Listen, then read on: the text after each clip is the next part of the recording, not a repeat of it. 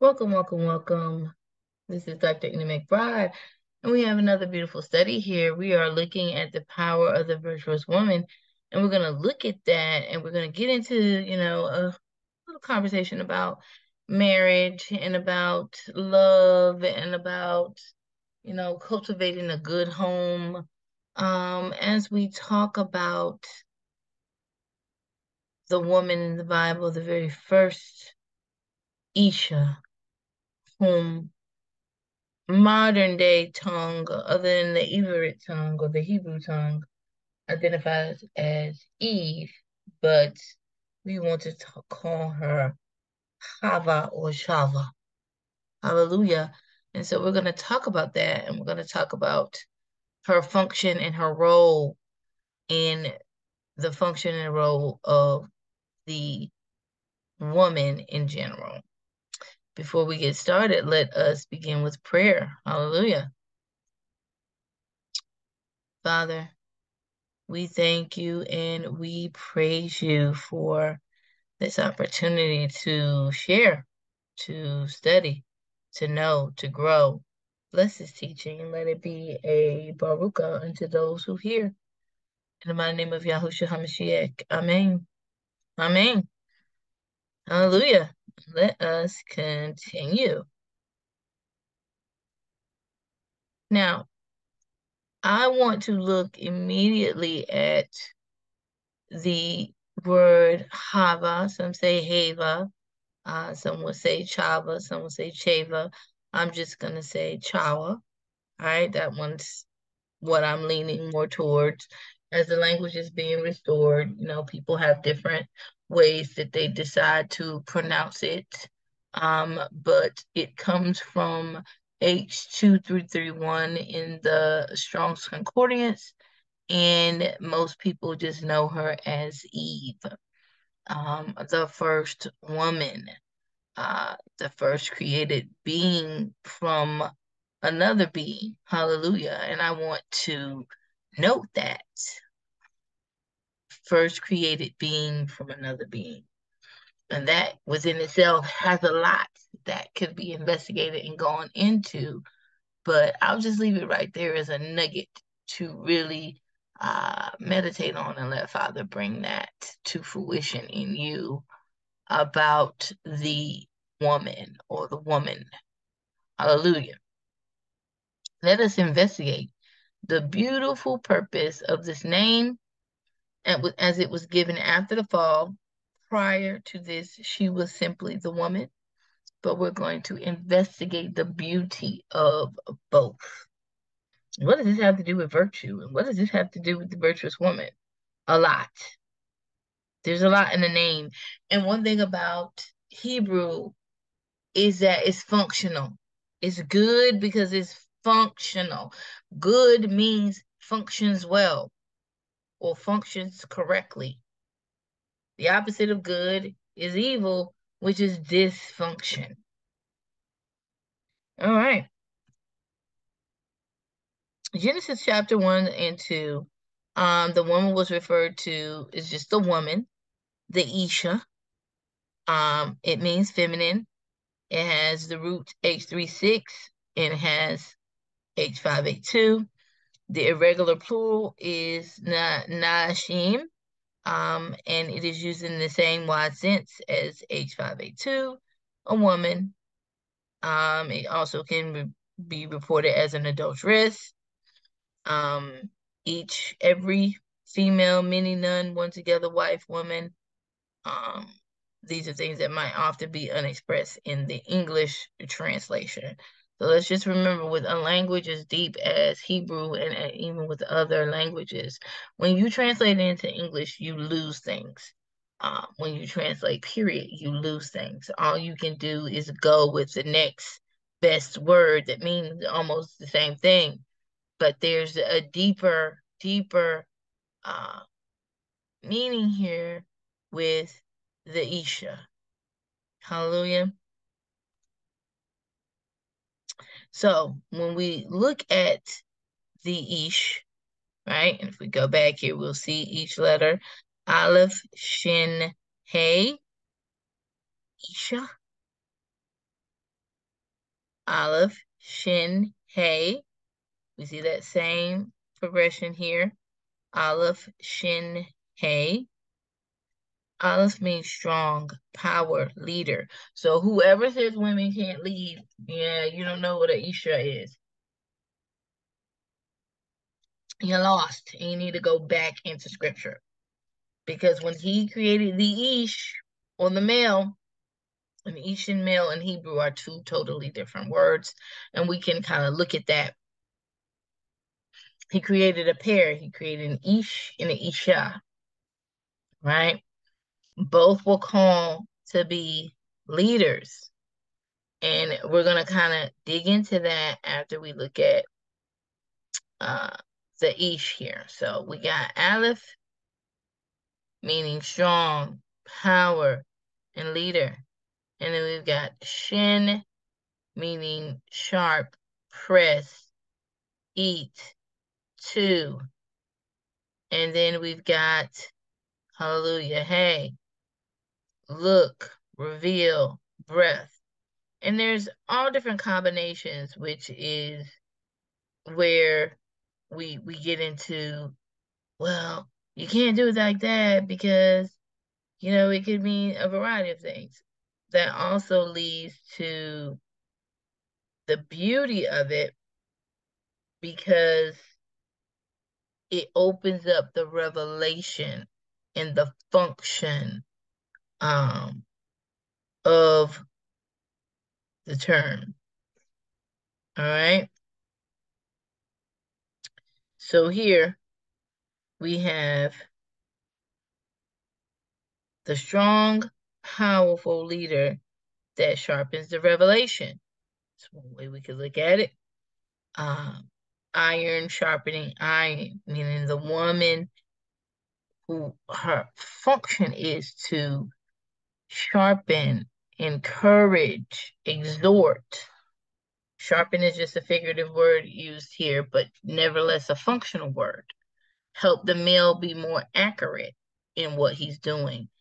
Um, help the male carry the burden of what he's doing better. And we'll we'll dig it out even more um, here. But the woman was given to sharpen and strengthen the revelation of the man.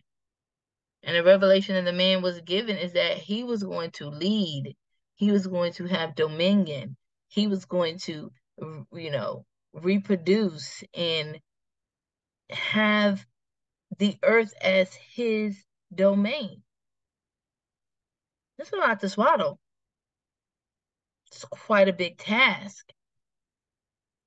The Isha was given to the man as a help meet for him to help meet his needs, to sharpen him and make him more accurate in the revelation of his duty as a man.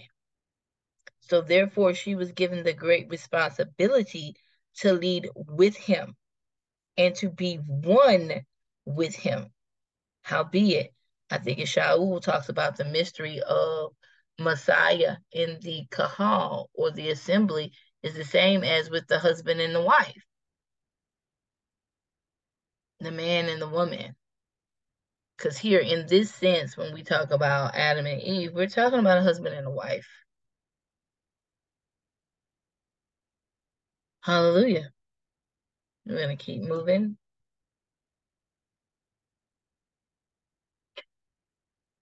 So now let's take a moment and let's look at the fact that she not only was titled and given the function of woman or Isha, she also was given the function of Chawa.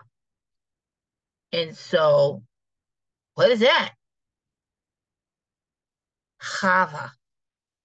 Where are we going with that? Let's talk about it.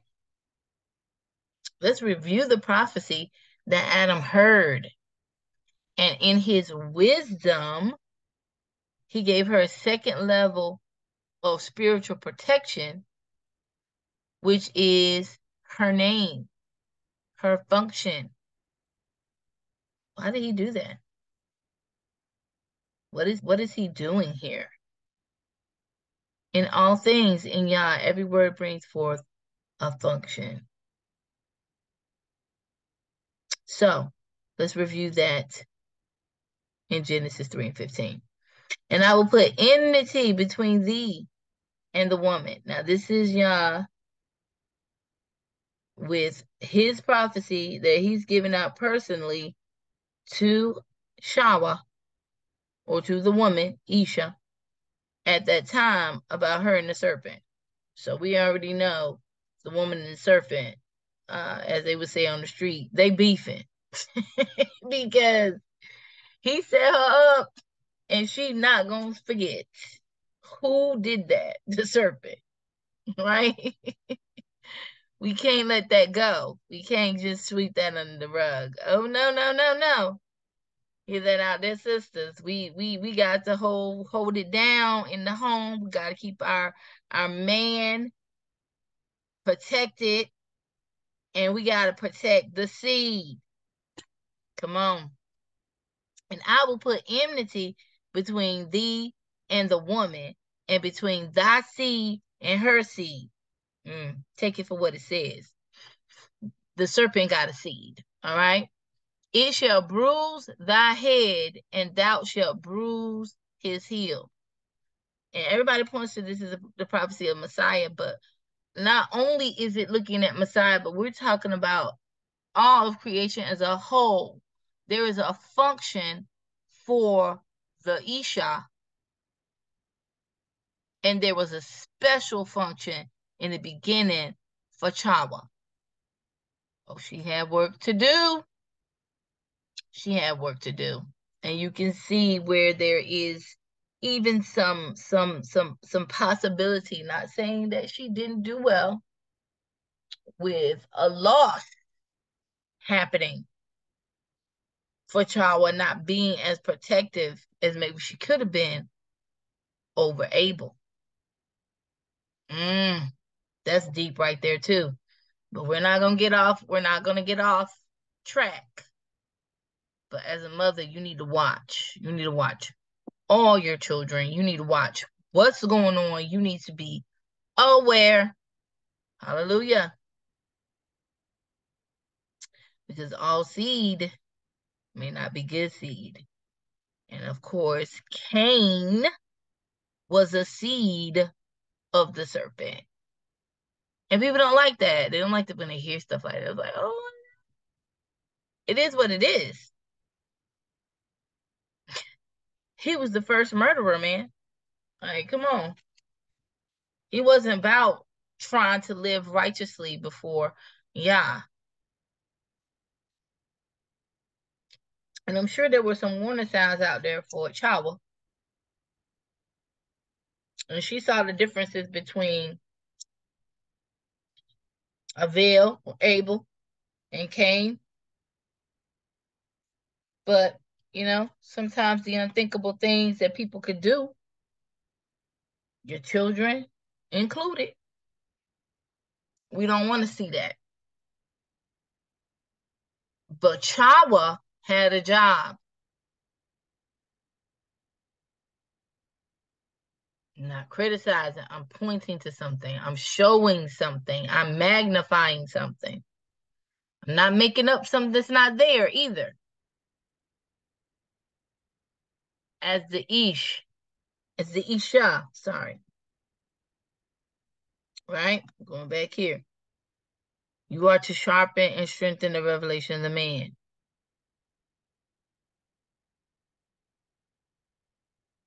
Hallelujah. To lead with him. Look in the Hey, reveal. Hallelujah. There's going to be revelation. There's got to be some looking going on with the Isha, the woman, and her function. So much is here. Like we can really go deep with this. I'm trying to be very uh, strategic as I'm going through. Just this is just to get you started, right? As your function as an Isha. And then I would also encourage everyone look up the function of their name because Chawa had a specific function. And thankfully, the Father blessed her with another seed. Hallelujah. Because through the awful circumstances of Cain, she lost both of her sons. Mm. But she didn't see the depth of the enmity. She didn't see it. But there's an enmity here that Chawa eventually got the revelation. And now I'm giving it to all of us as women of Yah. Let's understand the revelation. Because not only did he give it to Shawa, this was to every woman. So she, we are now co-laborers if we're in this walk. And co-leaders with the man in our home if we're married. Or with Messiah in general if we're not. We're co-laborers in the spiritual battle for dominion and territory until the revelation of Messiah.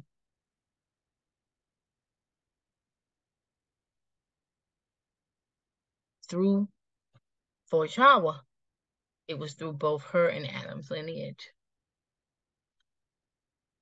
So Adam means man or mankind. Adam derives from the Hebrew now Adamah, meaning the ground or earth. Abba Yah took Adam from the Adamah, dust of the ground, ground, earth, Adam, mankind. All right, so we see here Adamah, Aleph, Dalet, Mem, Hey.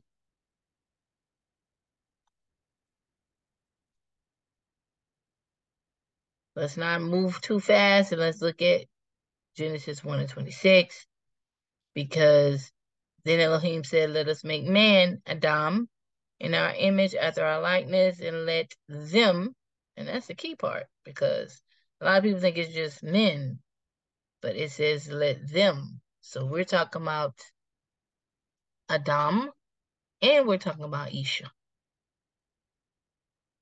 Let them have dominion over the fish of the sea and over the fowl of the air and over all the cattle and over all the earth and over every creeping thing that creepeth upon the earth. And in Adam was also the woman.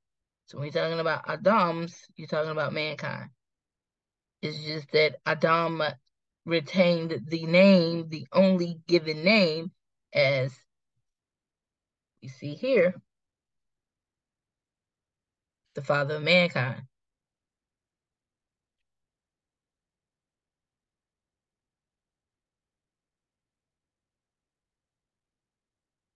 So Adam meant man or mankind, which is inclusive of the woman.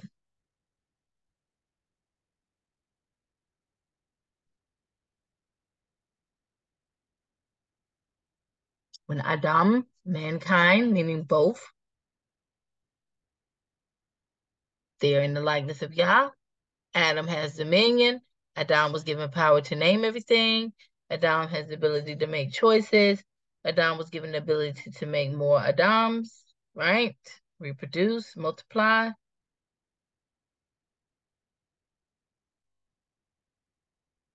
So why this prophecy with Chawa? In Genesis 3 and 20, Chawa was given after after the prophecy given to her. And this is just a different view of Chawa in the paleo, not excuse me, it's both the paleo and the pictorial and the modern Hebrew. Okay? Chawa. So in Chawa, we have Chet, Vav, Hey. Chet is a picture of a wall, letter, or window. Waw is a picture of a tent peg. Hey is a picture of a man with raised hands. So you have now Chawa, a wall of support, but notice a wall, of protection, a barrier. Do you see why he went from just Ish, Isha, excuse me, as a co-leader, sharpener, to now know, Shawa, you have got to function as a protection for me, a wall, a support for the man doing his work. He prophesied out to her, you can't fall anymore. You can't, you can't let Hasatan beguile you. We we in this to win it. We gotta stay together. Do you see how deep this is? Her functionality, it was always the same, but he brought it to light fully. Because she could have been sharp and protected right from the beginning when the serpent went. But she only was really walking in her understanding as a co-leader, not the sharp revelation, not the hey, not the look. She, Isha, was not seeing it. But Chawa, moving forward, Chawa saw it. We don't see any other instances where Chawa continued to stumble, which is something that Father is showing. When you repent, you repent. She became that wall of support for Adam to do his work. A wall of support for man doing his work. Look at the beauty of that. Look at the beauty of that. So, if we look at in the picture, Chawa is man's helper, help helpmeet, which was in 2 and 18, which was before the for the uh, prophecy. So I won't just say Chawa there. I will say uh, Isha, because he specifically, I believe he specifically named Chawa to reiterate to her her function and to bring to light to her even the more her function.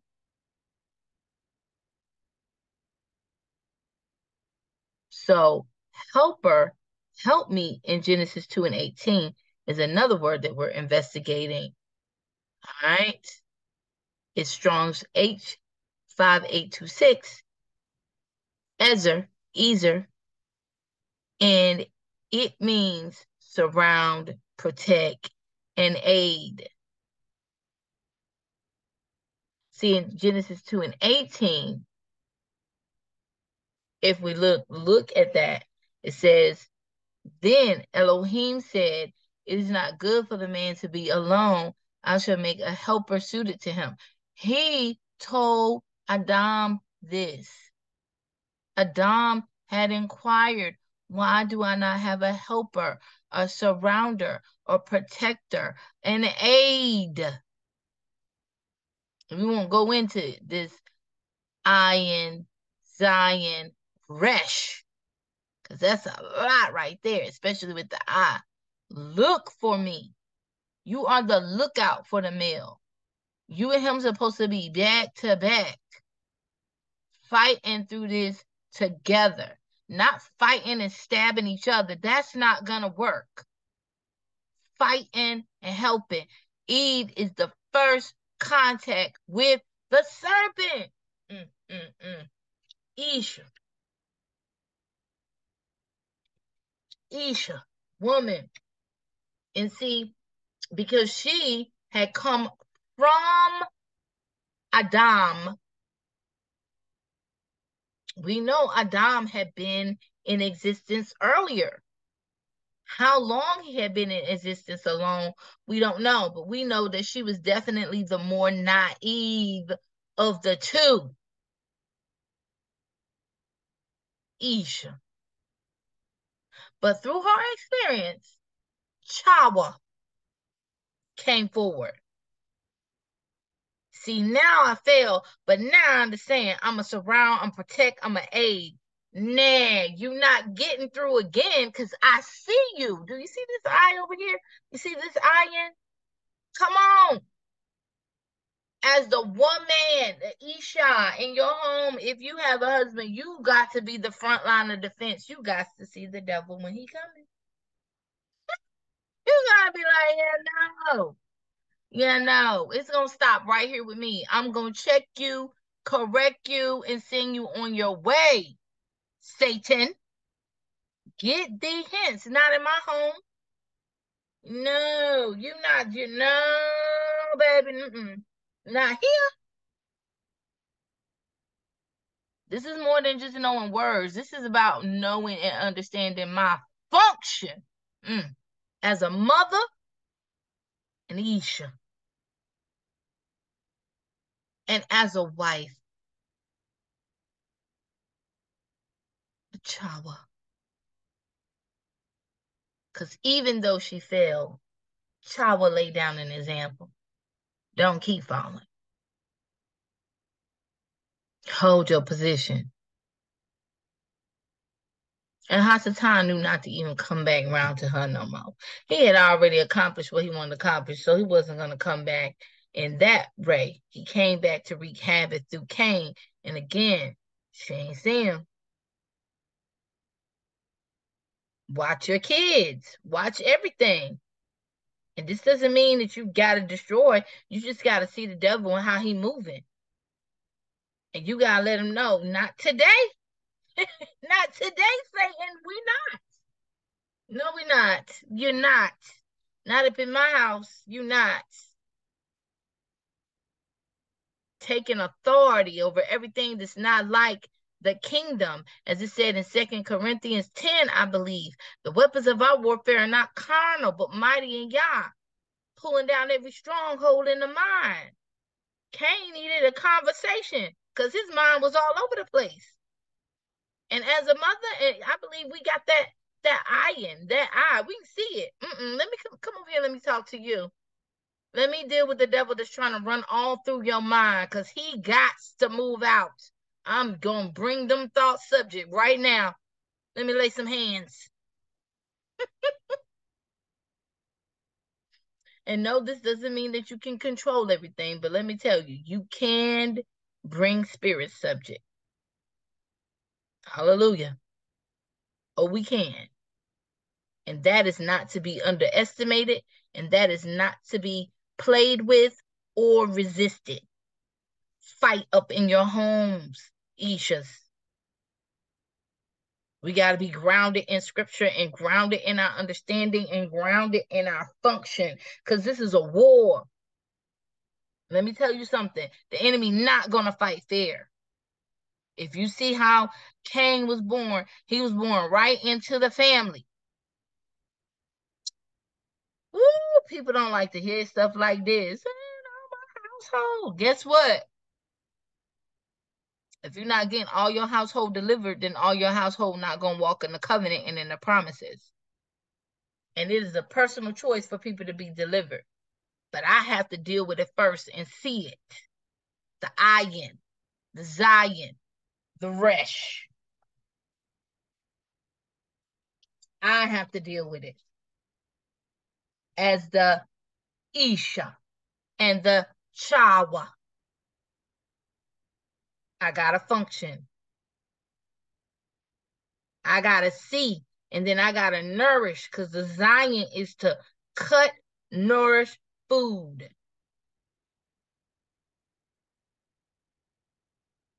There's a lot in this. This is deep.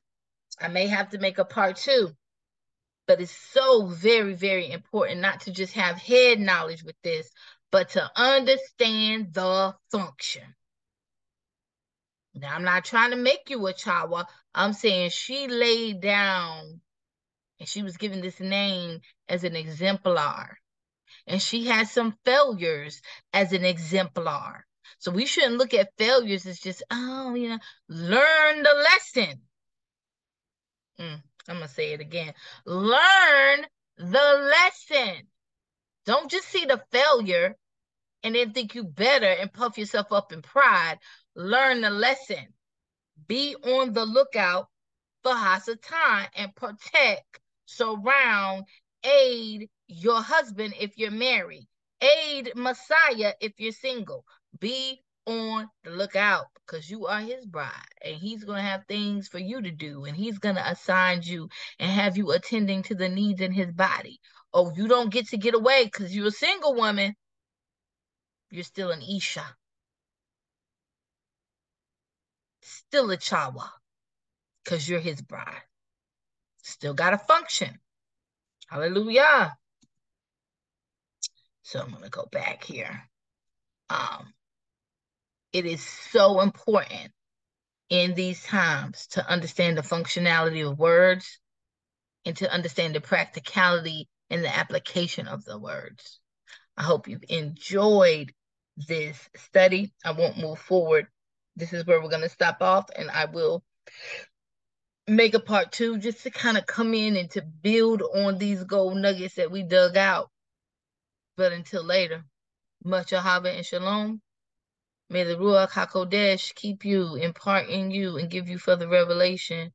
And may the Almighty Yahushua HaMashiach return and find his faith in the earth, and most of all, in each and every one of you as you have partaken of this study. Hallelujah. All esteem to the Most High. Amen.